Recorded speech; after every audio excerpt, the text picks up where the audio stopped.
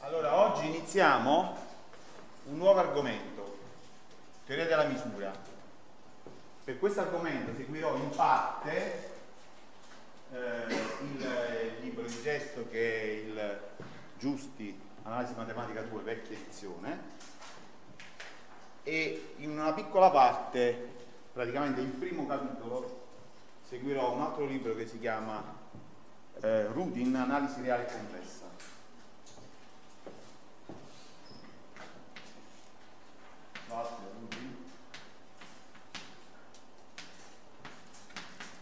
Analisi reale e complessa.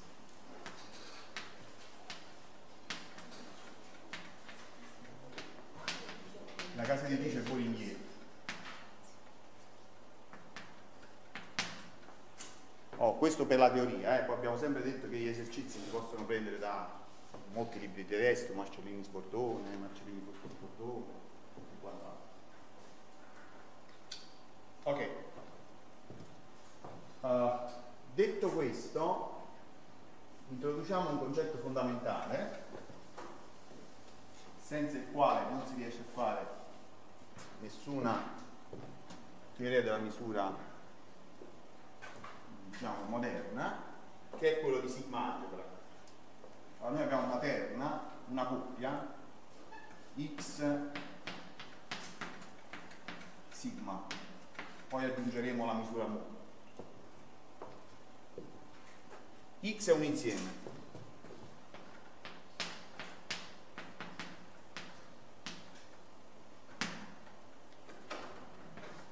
Sigma è una famiglia di parti di x.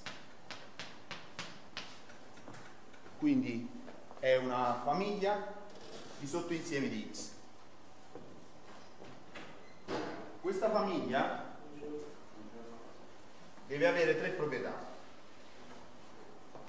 come vedrete, queste, come vedremo adesso, queste proprietà somigliano un pochino, ma non sono uguali a quelle degli aperti e dei chiusi dell'anno scorso. La prima proprietà è che il vuoto e tutto x devono essere elementi sigma.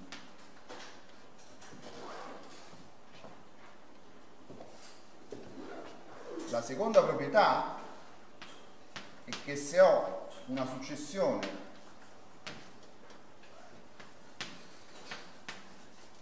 di insiemi che stanno in questa famiglia sigma, allora, quindi uno, diciamo una famiglia numeratica,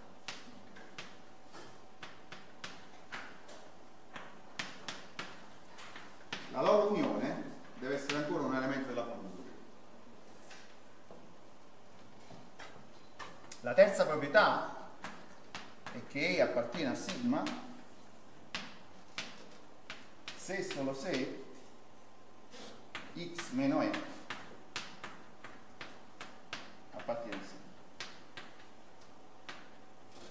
Quindi la terza proprietà ci dice che se un insieme, se un sottoinsieme di x sta nella sigma algebra, allora complementare deve stare nella schematica ok.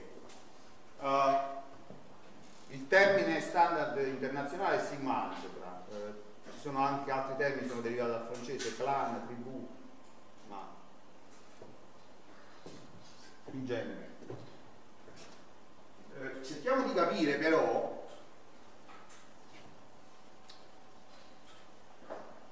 diciamo, qual è il motivo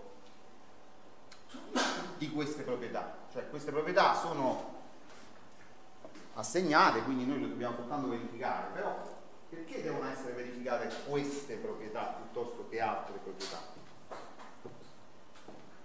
Allora, voi avete già fatto un corso elementare di teoria della probabilità, anche se non avete visto la teoria della misura sottostante. Eh, nel caso di uno spazio di probabilità, il vuoto corrisponde all'evento nullo e tutto x corrisponde all'evento certo. Quindi è chiaro che questi, diciamo, la sigma corrisponde agli eventi che hanno una probabilità. che avranno una probabilità. Quindi è chiaro che l'insieme vuoto, cioè deve avere probabilità 0 e quindi deve avere probabilità e l'evento certo deve avere probabilità 1. Quindi almeno questi due eventi devono essere misurati.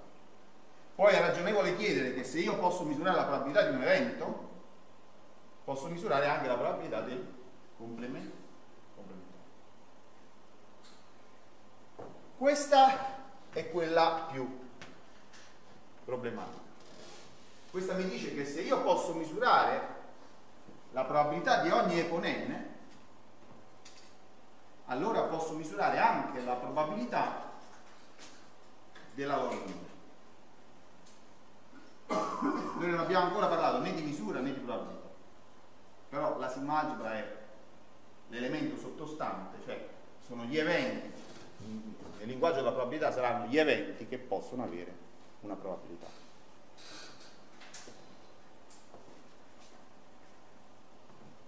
Perché ricorriamo a queste tre, a queste tre proprietà e non diciamo per esempio che sigma sia tutto P di X.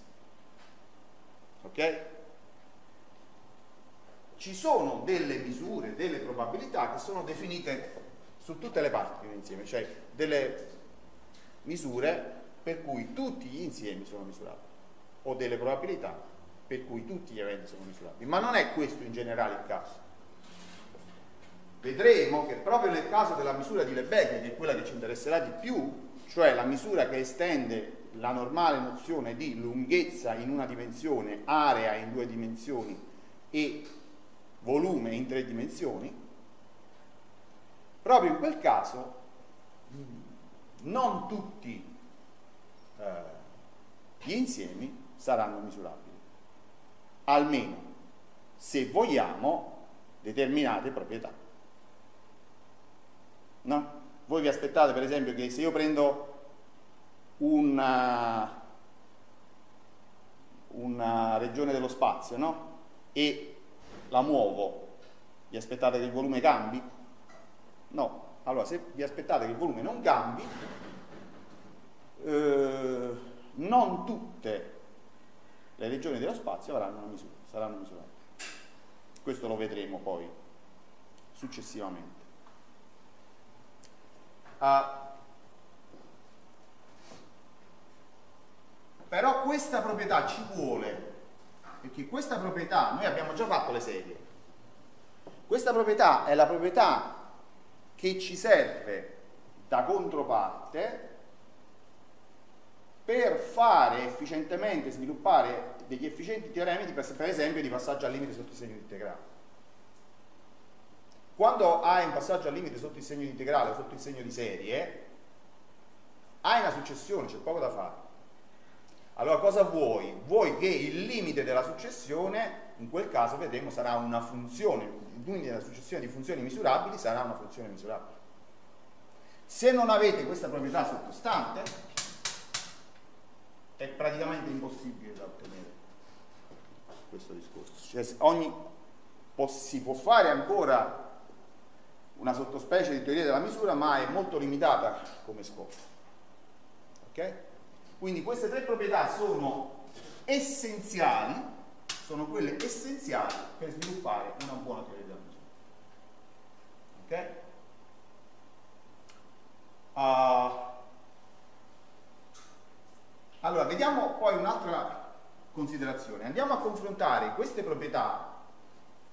L'anno scorso abbiamo visto in R, poi generalizzato a Rn, le proprietà degli aperti e dei chiusi.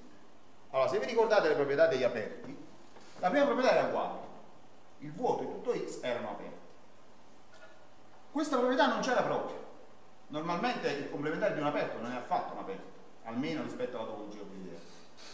Chiaro? Questa proprietà invece c'era di più cioè l'unione di una famiglia qualunque, non solo di una successione di aperti, era aperta.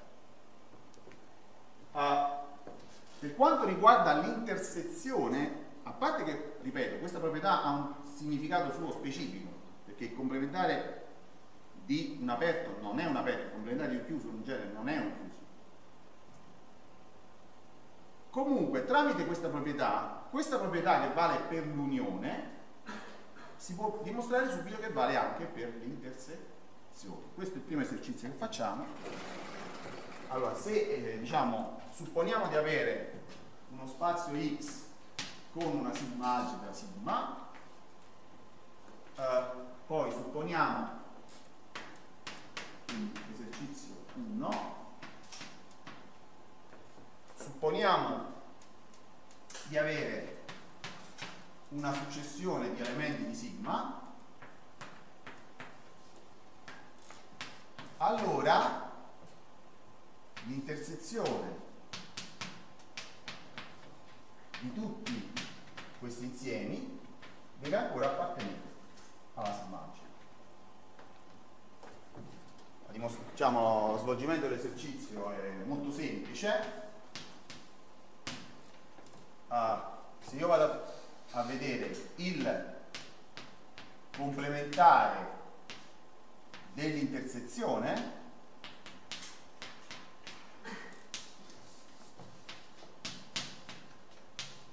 questo è l'unione dei complementari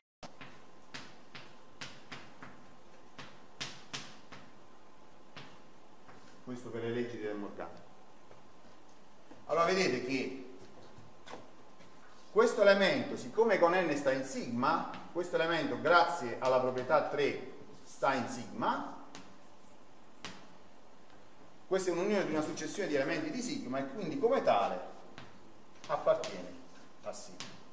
Ma questo mi dice se il complementare di questa intersezione sta in sigma, sempre per la proprietà 3 mi dà la tesi, cioè che l'intersezione con E sta insieme. Quindi dal punto di vista delle unioni e delle intersezioni una sigma algebra è molto più flessibile degli aperti e dei chiusi. È vero che non possiamo fare unioni e intersezioni qualunque, ma è altrettanto vero che possiamo fare l'unione o l'intersezione di una successione di elementi della sigma e non uscire dalla sigma In più possiamo sempre fare il complementare, cosa che negli aperti e nei chiusi non possiamo fare, cioè possiamo fare ma usciamo dalla famiglia. Immaginate per esempio che eh, una sigma algebra contenga gli aperti. Ok? Vedremo che la più piccola sigma algebra contenente gli aperti si chiamerà sigma algebra dei boreliani. Comunque, mettiamo che gli aperti li vogliamo misurare, no? Quindi, in genere, saranno elementi di una sigma algebra. Se abbiamo già, per esempio, una medica e quindi una topologia. A questo punto, se abbiamo gli aperti, grazie alla proprietà 3 abbiamo pure i chiusi. Ma grazie a queste due proprietà, la 2 e questa che potremmo chiamare 2', che è ricavata dalla 2 e dalla 3, abbiamo un'intersezione di una, un numero qualunque di aperti e chiusi, eh, numerabile, di una successione qualunque di aperti o chiusi, o di insiemi che siano, e con n può essere sia aperto che chiuso, e la stessa cosa per l'unione e poi possiamo fare ulteriori intersezioni e così via. Quindi vedete che molti insiemi che non sono né aperti né chiusi, almeno rispetto alla topologia euclidea, no?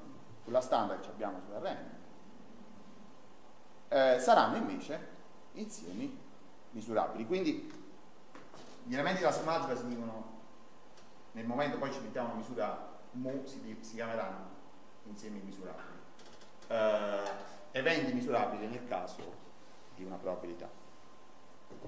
Ok, quindi questo è, questo, è, questo è il punto di partenza.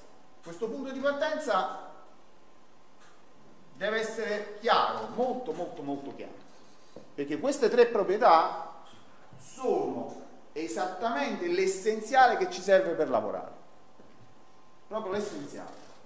Sono state distillate Chiaro?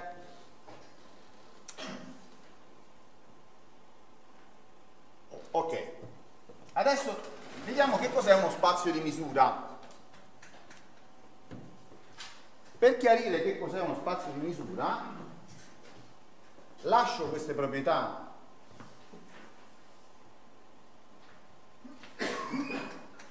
sulla lavagna e aggiungo quella che è una misura mu. Una misura mu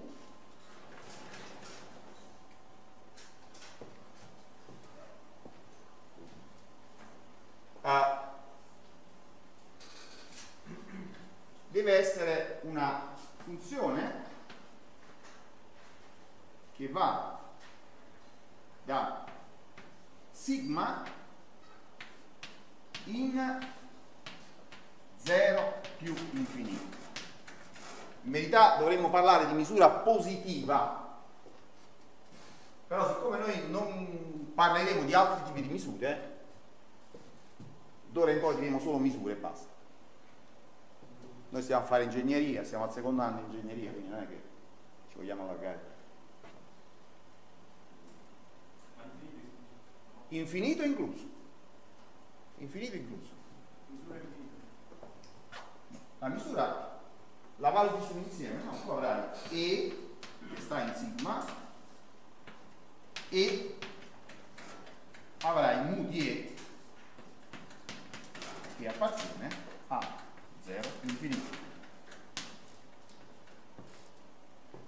È chiaro, per esempio, se io sto in R3 e ho l'usuale volume che vedremo può essere esteso a una misura, se io prendo il volume di, tutto il, di un semispazio, è chiaro che è infinito. Oppure prendi la lunghezza di una semiretta in R, è chiaro che fa infinito.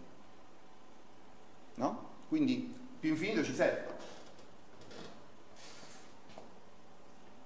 Qual è la proprietà fondamentale di mu per potersi chiamare misura? Perché non basta questo. Ci vuole questa proprietà. Allora, E con n prendiamo una successione di eventi misurabili a 2 a 2 disgiunti, cioè tali che E con I intersecato E con J sia uguale al vuoto se i è diverso da j. Allora, mu dell'unione per n che va da 1 a infinito di e con n, che vi ricordo è ancora un elemento di sigma per la proprietà 2, questo deve essere uguale alla somma per n che va da 1 a infinito di mu economici.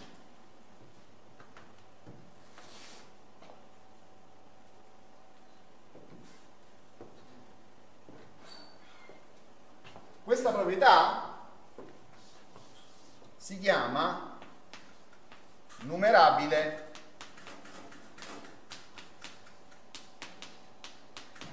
additività.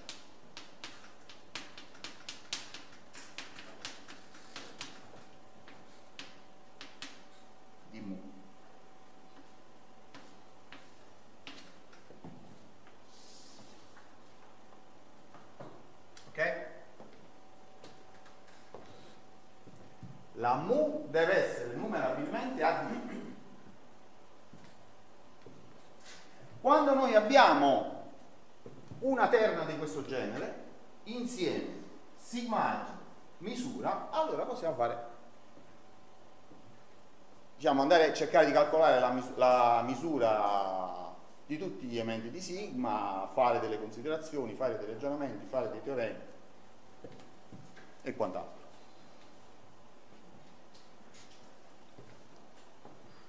Badate bene che questo setting, questa configurazione è molto generale. Qua c'è solo un insieme qualunque, una somma algebra qualunque che soddisfa quelle tre proprietà e una misura qualunque che soddisfa la numerabile del dimegrante. Chiaro?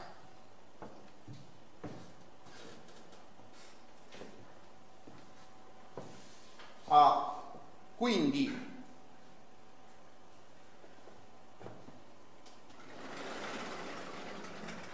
facciamo degli esempi.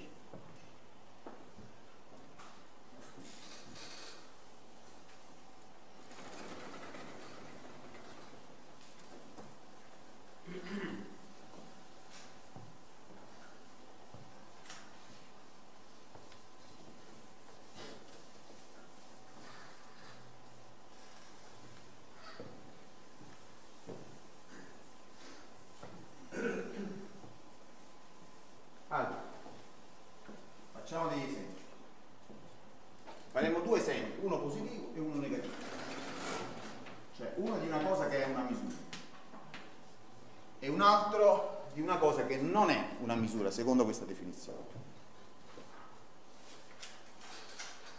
Esempio 1. Io prendo un insieme qualunque, prendo come sigma algebra l'insieme di tutte le parti, quindi questi sono tutti sottoinsiemi, quindi chiaramente soddisfa tutte e tre le proprietà, perché siccome sono tutti sottoinsiemi l'unione di sottoinsieme di x è un sottoinsieme di x, l'intersezione di sottoinsieme di x è un sottoinsieme di x, il complementare di sottoinsieme di x è un sottoinsieme di x. E poi prendiamo delta x con 0. Delta x con 0 di un insieme di un sottoinsieme di x è uguale a 1 se x con 0 appartiene a d e a 0 se x con 0 non appartiene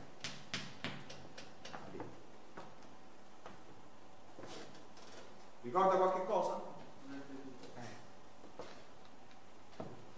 già l'avete incontrato in elettroretto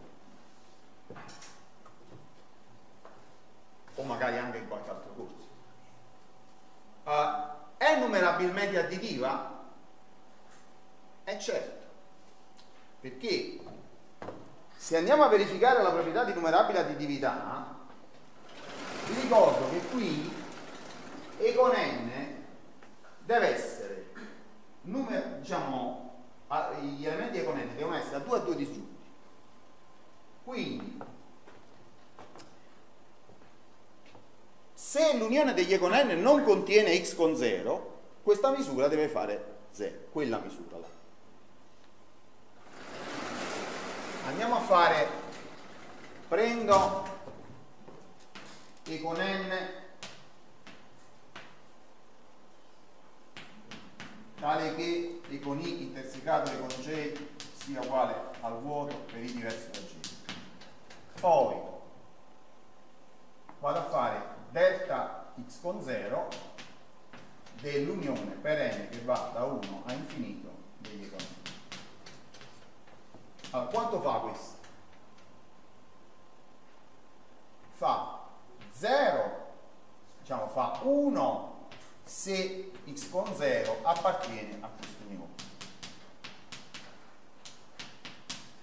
E fa 0 se x con 0 non appartiene a questo unione.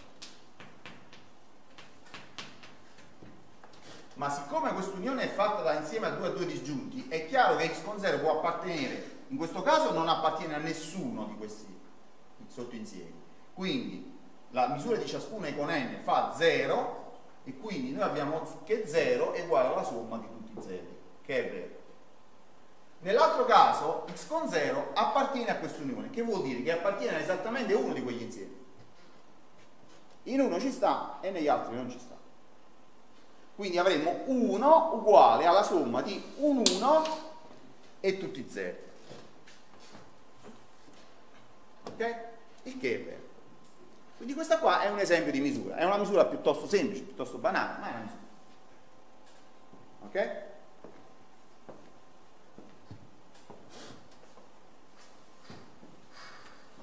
Allora, già il fatto che dentro il capitolo misure rientri una cosa che io ho visto in elettrotecnica e magari altre cose che ho visto in probabilità, già questo vi fa capire che diciamo, questi strumenti sono potenti. Cioè, la generalità di queste cose non deve spaventare bisogna coniugarla con gli esempi, con gli esercizi, però questa non è in matematica la generalità quando viene raggiunta perché la gente ci ha pensato molto, distilla esattamente quello che è essenziale per lavorare. Queste sono le proprietà essenziali per lavorare con, con le vite. Queste unite ovviamente alla numerabile effettività. Ok? Bisogna avere una sigma e la numerabile effettività. Andiamo a vedere adesso invece un esempio negativo.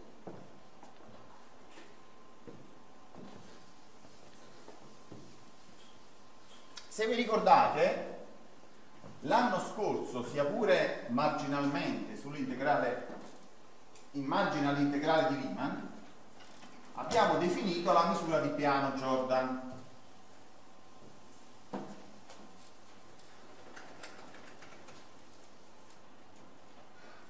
Allora, la misura la chiamo PJ.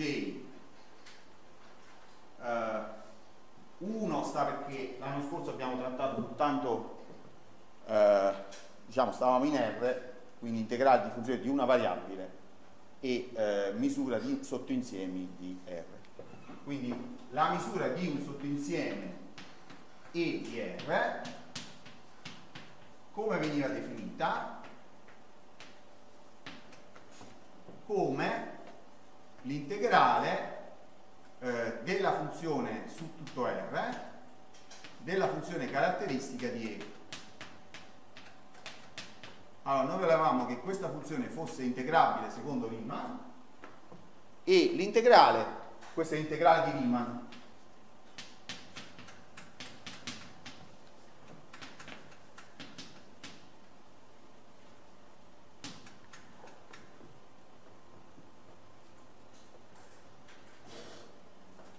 Allora, questa qui, secondo quello che abbiamo detto oggi, non è una misura. Perché? Allora, andiamo a vedere. Prendiamo un punto x con 0. Se io vado a fare l'integrale su tutto R eh, della funzione caratteristica dell'insieme x con 0, del solo x con 0 in dx, chi è questa funzione? È la funzione che vale 0 dappertutto, tranne nel punto x con 0 dove vale 1. Se vi ricordate, l'integrale di una funzione del genere fa 0. Una funzione che vale eh, a, eh, diciamo, valori diversi da 0 solo in un punto vale o solo il numero finito di punti seconda riga vale ecco andiamo a prendere adesso questo insieme E uguale Q intersecato 0 1 cioè questi sono tutti i numeri razionali di 0 1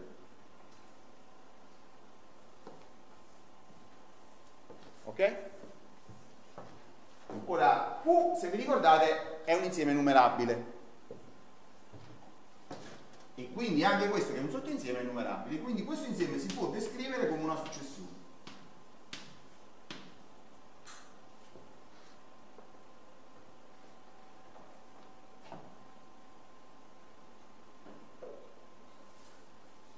Se io vado a fare la misura di piano Jordan unidimensionale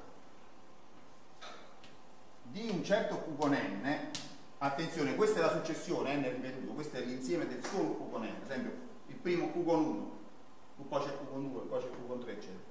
Questa misura qui fa 0 per ogni n appartenente a n.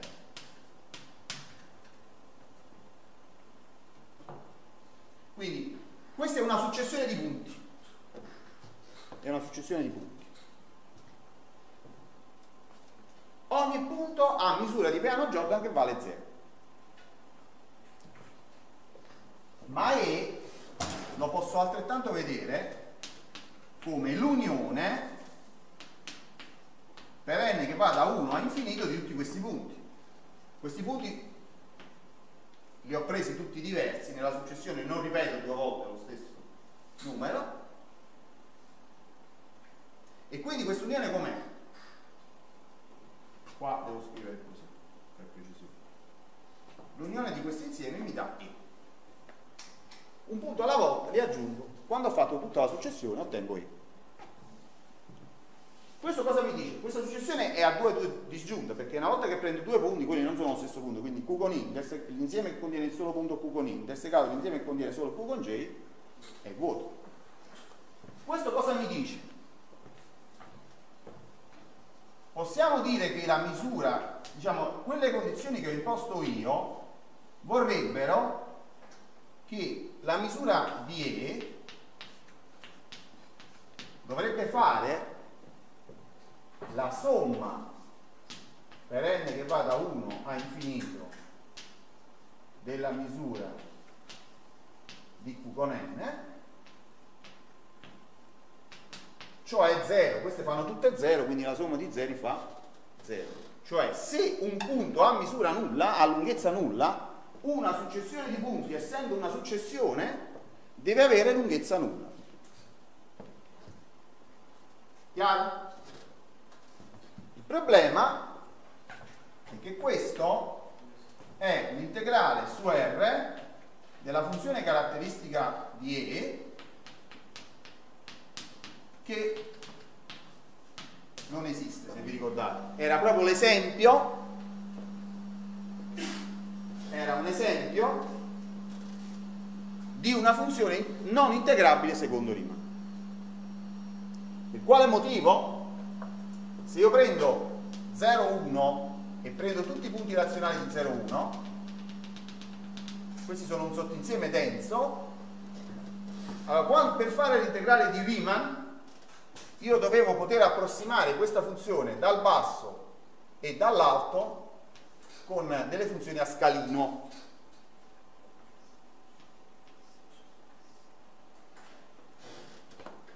E ma questo dal basso, dall'alto è possibile, ma dal basso no, perché questa funzione qui vale 1 solo sui razionali, quindi quando io prendo questa funzione qui a scalino, non è una minorante, perché?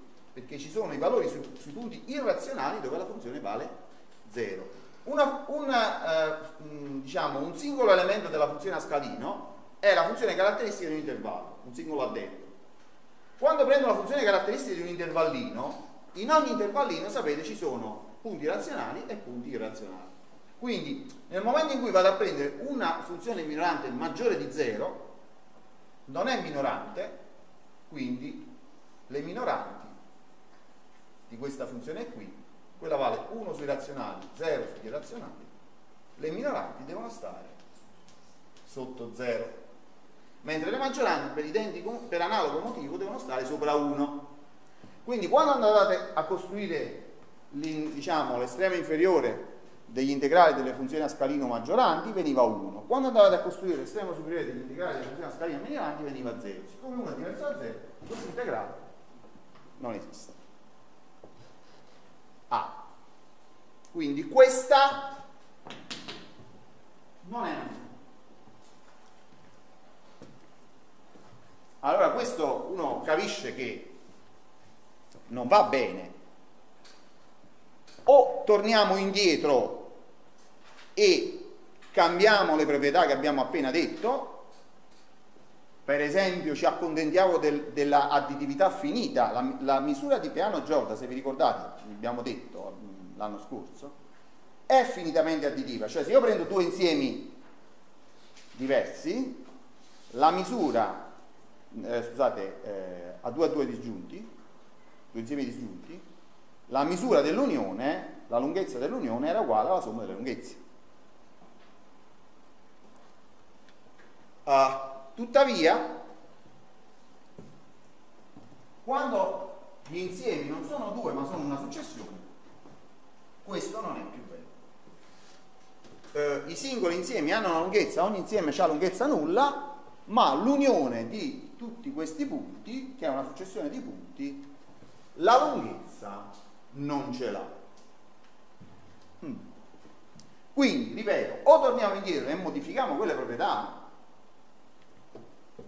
o modifichiamo quelle. Cioè quella lì non è che non sia una misura. Vedremo che coinciderà con la misura di Lebesgue su tutti gli insiemi che potete immaginare voi, normalmente. Ok? Quindi nei casi pratici, quando andiamo a fare il volume di un pezzo di uh, spazio, di una regione dello spazio, oppure l'area di un pezzo di piano, oppure la lunghezza di eh, un intervallo, la misura di Lebesgue e la misura di Peano-Jordan coincideranno. Però si tratta di modificare quella definizione in modo tale che pur restando quella che conoscevamo nei casi classici, rispetti la proprietà di numerabile additività.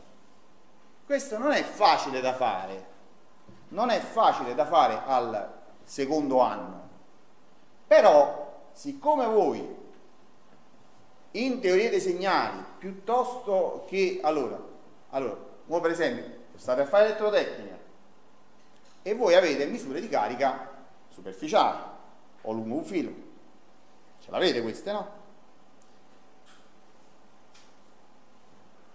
le descrivete tramite certe proprietà che devono avere, perché io quando faccio l'integrale di una misura di carica superficiale la devo fare su, una, su un pezzo di superficie. Non è che la posso fare su un pezzo di volume, perché un pezzo di superficie ha un volume nullo, quindi quello mi direbbe che la carica non c'è, cioè se la carica avesse una densità di volume su una superficie la carica è zero questo sto dicendo. Ma quella c'è una densità di carica superficiale, che vuol dire che la misura che rappresenta quella distribuzione di cariche è una misura che sarà,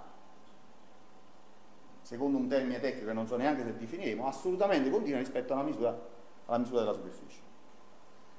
Uh, allo stesso modo, se una carica è distribuita su un filo, la carica la trovate là sopra, quindi la, la misura di, che rappresenta la distribuzione di quelle cariche è assolutamente continua rispetto alla misura che conta la lunghezza del filo. Ok? La lunghezza di un pezzo di filo. E così via.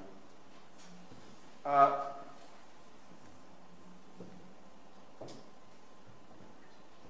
la configurazione che abbiamo stabilito permette in un colpo solo di trattare con tutti questi casi insieme. Cioè, nel momento che io sviluppo una teoria della misura che vada bene in questa situazione generale, i teoremi che andrò a fare, andrò a scrivere, saranno veri per ogni spazio di misura, cioè per ogni insieme x dotato di una sigma algebra sigma e una misura Ok? Quindi non avrete bisogno di ridimostrare ogni volta certi teoremi, perché ah no, ma è cambiata la misura, qua devo rifare tutto. No, diciamo, i concetti sono molto generali, sono basilari, però valgono dappertutto. Quindi varranno in probabilità, varranno in elettrotecnica, varranno in teoria dei segnali e quant'altro. È chiaro? Quindi il vantaggio c'è, il vantaggio c'è ed è molto forte. Mm? Ok. Eh, per esprimere questo vantaggio noi faremo prima eh, il, diciamo, la definizione di integrale rispetto a una misura e i teoremi di la famosa terna, il teorema di Beppo Levi, il lemma di Fatou e il teorema del passaggio al limite eh, della convergenza dominata di Lebesgue. Ok? Questo ci porterà via buona parte della lezione di oggi, se non tutta la lezione di oggi. Penso tutta. Perché dobbiamo comunque fare un po' di lavoro preliminare. Però una volta fatto questo, sarà ben chiaro il vantaggio che c'è a fare le cose in generale. Perché quando io l'ho fatto, quel discorso vale per ogni spazio di misura non è che vale solo per la misura che poi vedremo, andremo a costruire, che sarà quella di Lebesgue. Mi spiego meglio. noi facciamo, abbiamo fatto questo setting, in questo setting generale andiamo, andremo, adesso andiamo a definire le funzioni misurabili, andremo a fare tutta una serie di cose che porteranno via un po' di tempo, ma non tantissimo, porteranno via la lezione di oggi con qualche appendice, la lezione di oggi più un'ora della prossima lezione, ma non di più. Il problema poi sarà far vedere che esiste in RN, in RN la prima misura con la quale uno vuole lavorare è la misura che estende il normale volume. Ok? Allora noi a quel punto dobbiamo far vedere come definiremo la misura secondo eh, piano Jordan in Rn, quello lo definiremo molto di, eh, diciamo, marginalmente perché faremo subito vedere come si fa secondo le Lebesgue. Ok? Eh, come si fa secondo piano Jordan lo diciamo, ma non lo sviluppiamo perché facciamo direttamente la definizione, diciamo, andiamo a verificare le proprietà della definizione eh, di misura secondo le Lebesgue. Però ovviamente diciamo tutte e due nel, nel, senso che facciamo vedere che in molti casi le due misure coincidono. Ok? Uh, però quel passaggio più sofisticato, quello porterà via, non lo faremo in tutti i dettagli, però lo faremo, in quel caso seguiremo il libro di Giusti, perché uh, Giusti aveva fatto una cosa assolutamente meritoria, costruiva, mentre in matematica la misura di Lebesgue viene costruita secondo un processo astratto, quindi non si capisce benissimo come venga fuori, almeno per uno studente che sta al secondo o terzo anno, uh, Giusti, siccome doveva farlo per ingegneria, uh, aveva fatto un lavoro meritorio, l'aveva costruita proprio materialmente, cioè dando le definizioni dirette che daremo noi, che riprenderemo noi. Okay?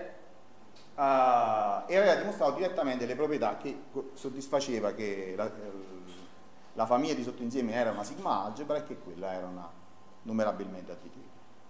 Uh, nell'edizione nuova però Apriata ha cancellato tutto qua probabilmente perché con, dopo la riforma eh, qualcuno ha detto eh, ma ti metti a fare la teoria di Lebesgue eh, io per quello che ricordo quando ho iniziato io a fare qualche esercitazione stiamo parlando del 1990 e a Salerno si faceva benissimo, la gente la studiava benissimo e si capiva tutto benissimo. Quindi, siccome qua abbiamo avuto la, la fortuna di conservare più o meno la struttura di analisi 1 abbastanza integra e comunque di fare qualcosina di analisi 2, per esempio le equazioni differenziali nel corso che adesso si chiama analisi 2, ma che è geometria più alcune nozioni di analisi 2, io ritengo che valga ancora la pena, la pena di farla, perché voi non siete studenti di un corso di ingegneria qualunque, siete studenti di un corso di ingegneria di informatica e telecomunicazione. Allora, in telecomunicazione di spazi LP voi li vedete eh, eh, a ogni 3x2 e le due è pane quotidiano. Quella L sta per le becche. Eh? Quindi se non capite le becche tutto quello che fate, mm, diciamo, eh, rischiate di fare un sacco di cose di cui non, non, non cogliete il senso. Quindi questa... Vabbè, allora adesso facciamo una piccola pausa.